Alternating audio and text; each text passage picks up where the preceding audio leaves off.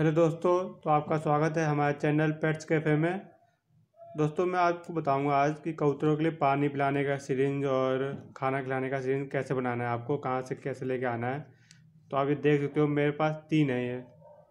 तो आपको क्या क्या लेके आना पड़ेगा क्या कैसे करना पड़ेगा तो मैं आपको बता देता हूँ। और जो ये वाला सिरिंज है ये ये पाँच रुपये का आता है।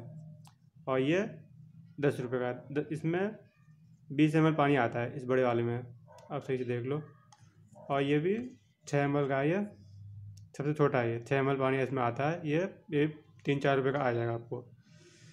और ये दस रुपये का आता है। बीस एम पानी आता है इसमें। और ये दस एम पानी आता है इसमें। दस बारह एम बारह एम लिखा हुआ है इसमें, देख लो। तो ये तीनों आपको कैसे बनाना है? तो सबसे पहले मैं आपको ये बताता हूँ। ये वाला जो बीस एम का है। ये जो पास से देख लो आप। ये जो है ना, ये, इसे आप जो साइकिल की दुकान होती है ना, वहाँ से लेके आ सकते हो।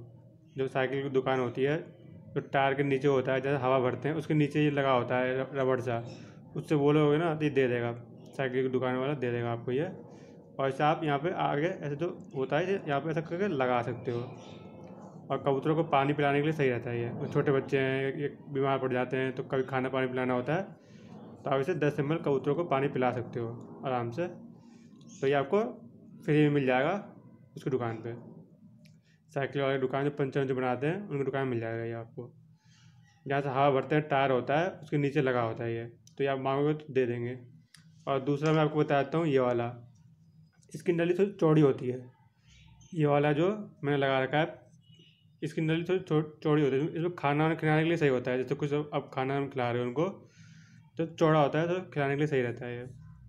ये बड़े कबूतर उनको खाना खिलाने के लिए सही होता है। तो ये आपको मिल जाएगा, मेडिकल स्टोर मिलता है। जो पानी चढ़ाने का होता है ना, सिरिंज का वो, उनसे मांगोगे तो ये, वहाँ पर आपको मिल जाएगा ये। और ये भी, ये तीसरा वाला मैं दिखा देता हूँ, ये छोटा वाला। इसे थोड़ा पाइप पतला होता है ये, इसे थोड़ा गर्म करके, बीच में थोड़ा कुछ लगा के, चौड़ा करके, फिर इसमें अंदर डलता है ये। तो यह भी आपको मिल जाएगा मेडिकल स्टोर पे, जो हम पानी चढ़ाते हैं, खून चढ़ती नली होती है, वो वाली वो वाली पाइप ही है जैसे पानी चढ़ता है, खून चढ़ता है, वो वाली नली मिल जाती है मेडिकल स्टोर पे, वो भी लगा के आ सकते हो आप। लेकिन थोड़ा महँगा पड़ता है, ये तीस चालीस रुपये का मिल जाता है। पूरा पाइप मिलता है ना शायद जो मशीन होती है, वो भी मिलता है। तो इसलिए आप महँगा पड़ता है। सबसे आसान ये वाला है कि आप ये वाला लेके आओ।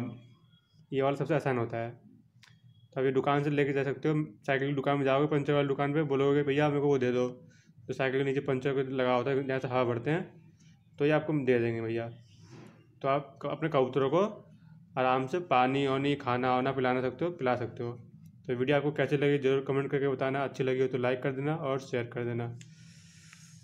चैनल पर नए हो तो प्लीज़ चैनल को सब्सक्राइब कर लें दोस्तों।